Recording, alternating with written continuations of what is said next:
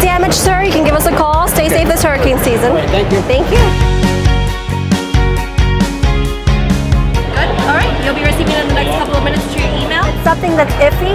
A lot of times the insurance company will say it's your fault. You know, if you ever do have any home damage, you can give us a call. You're very welcome. Oh, bulldog, huh? Bulldog adjusters. Yep. That's good. so if we ever have a major problem, I'll be visiting you. Wonderful. All right. Stay safe.